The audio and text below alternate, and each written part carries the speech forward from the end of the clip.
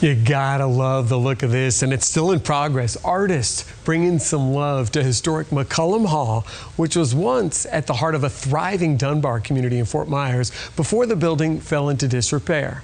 Tonight, our photographer Karen Deerdorf with a look at the mural and the artist behind it. It's taking shape on these 17 concrete panels spanning this eight foot wall nestled between McCollum Hall and the neighborhood next door.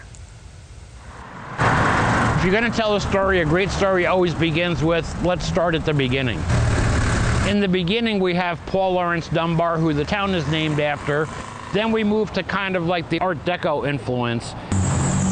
To me personally, as an artist and getting older, the ability or going back and focusing on history and trying to bring important things of history forward, it's kind of becoming a little bit more important to me. Nowadays, it's so hard to get kids interested in history you know, one of the famous stories of McCollum Hall was they would open up the, uh, the dance hall to black and white people, but they would have a rope down the middle of the building.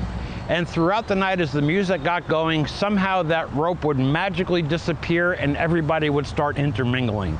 So it was really important to include dancing and music and how that influenced or how that was really seemed to be one of the first barriers that brought black and white people together. People that actually were at McCollum Hall in its heyday. And we're taking a wall and we're turning it into a celebration.